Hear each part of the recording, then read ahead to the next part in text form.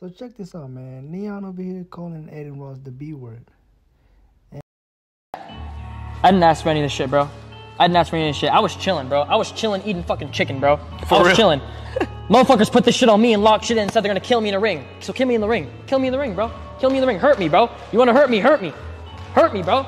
Don't just say that on stream and then pussy out, bro, like a bitch. Hurt me then, bro. Do it. Yo, man. I'll be waiting, bro.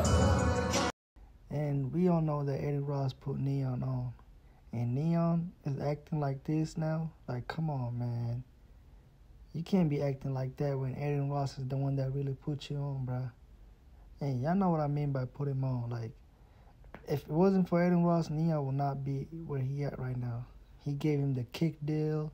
He helped him out. He got him out the house, you know. I feel like Neon's supposed to show like he's supposed to show respect to Adin Ross. Like, you know what I mean?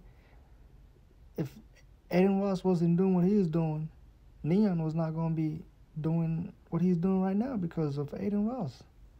You know? But I feel bad for Adin Ross low key, man.